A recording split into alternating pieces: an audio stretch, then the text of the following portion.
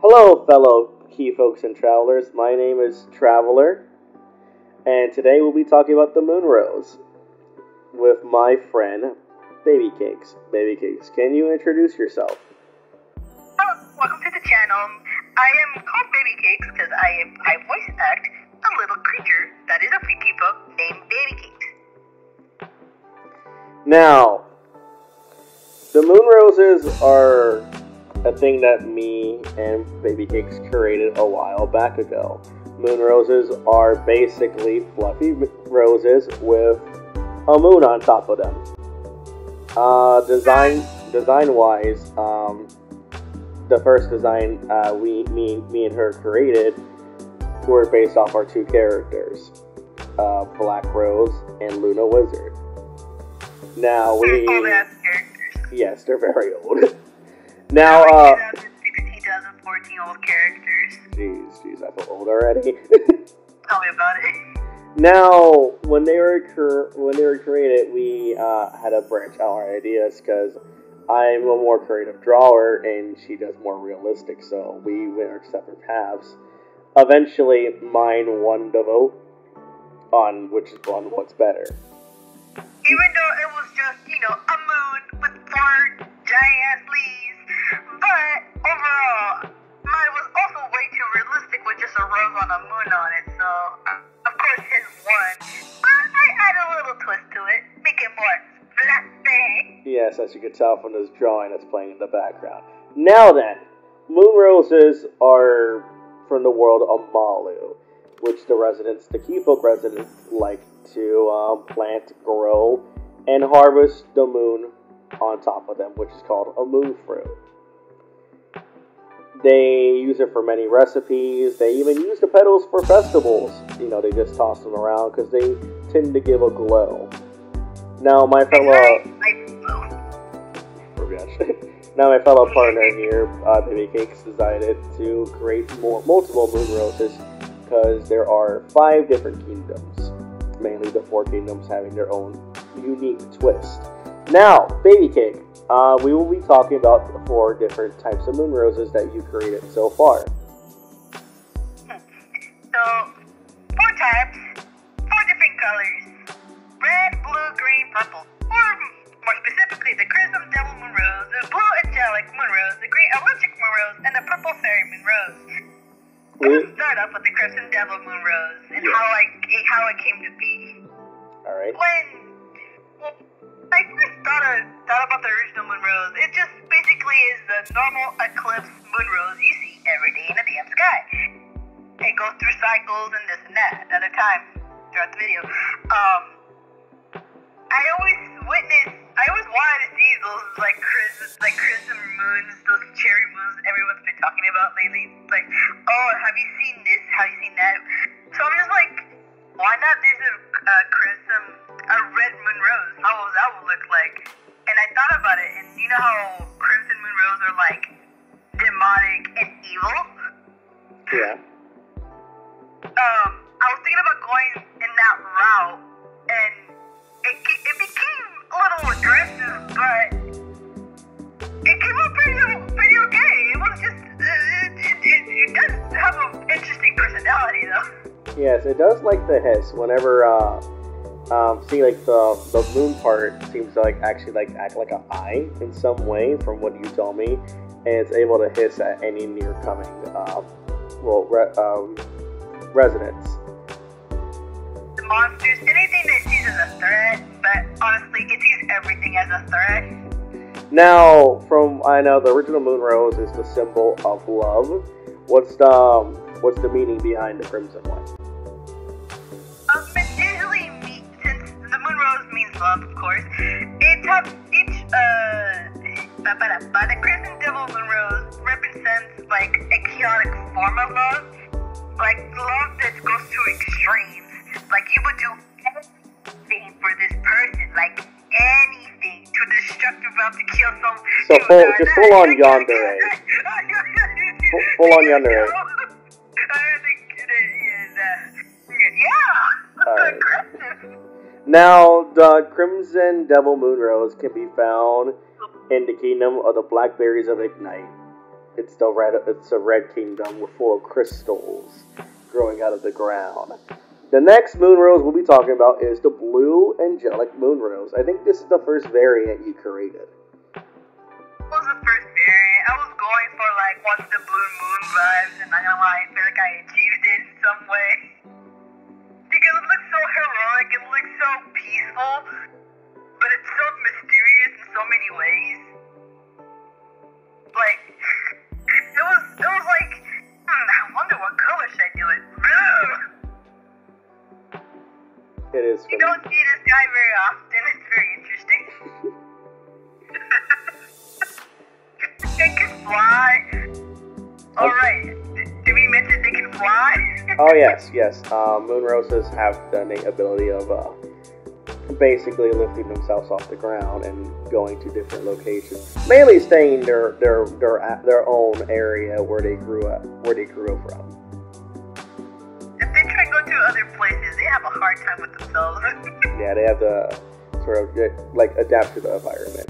Now, I'm, I'm also curious because um, the blue angelic moon rose has angel wings, while the crimson devil moon rose literally has demon wings. Like, is there like a hate relationship here between them?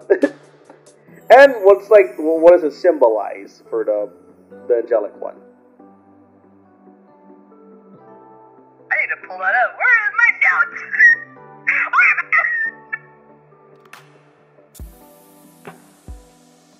Actually, I do have to pull up my notes. Hold on.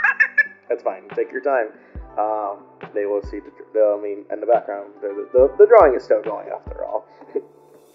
By the way, this drawing is from our lovely friend here, Baby Cakes. She's an amazing artist. I will link her Instagram in the description, along with mine, maybe. Maybe. I don't know. I haven't decided. So the blue moon rose represents free love. So anyone loving anyone, basically if you're a pansexual, that's basically that. But you can love whoever you want. Of course, not everyone's gonna love that said person. So it's only fair, you know. You can love freedom, love people, love everything. Everything is, is that form of love. And that love is not very often you see nowadays. Actually, on the contrary, nowadays people are loving you more than, than just themselves. Oh yeah, I can see that now. but anyway, uh, this moon rose can be found in the spiral Olef's kingdom, in the blue ocean. Bunch of islands, really. um, the next moon rose we'll be talking about is the green electric moon rose. This moon rose can be found in Meteor Valley, uh, um, an area of science with and within the oceans there are known to have meteor crash sites. Um, and this is where the moon. This this is where this moon rose uh, adapted to become well, this moon rose variant.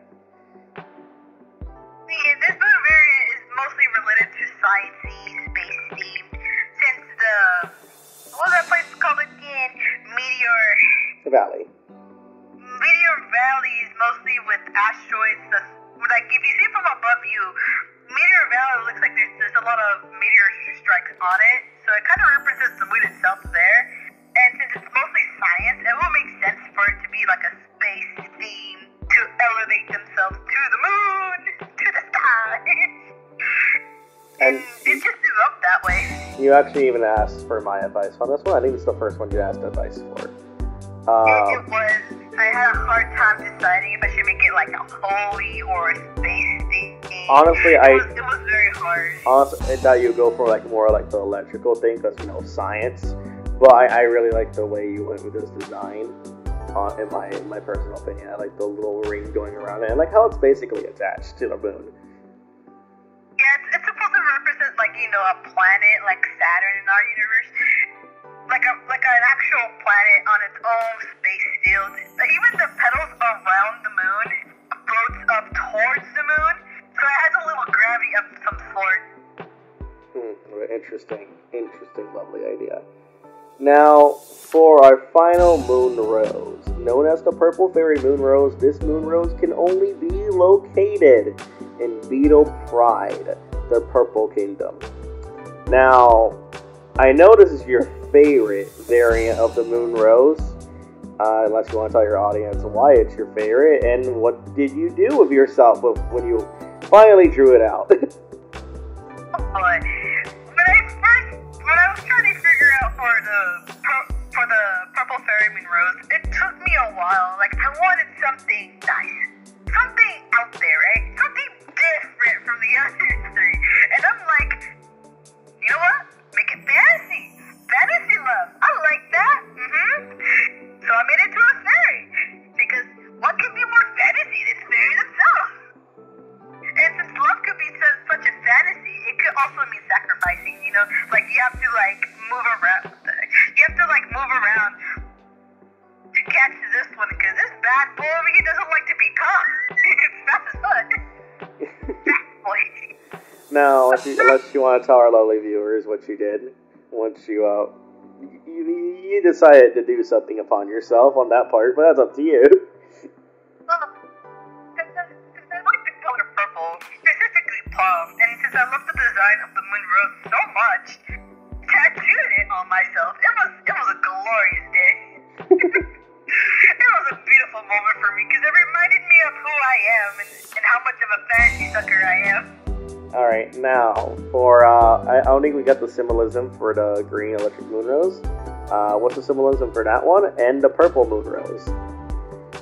Um, the green moon rose is the it's for the love of science. You just love science. You just want to evolve the world in some way. Gotta, gotta suck in that knowledge. Hell yeah, it's either love for knowledge or love love for like some sort of science way, you know?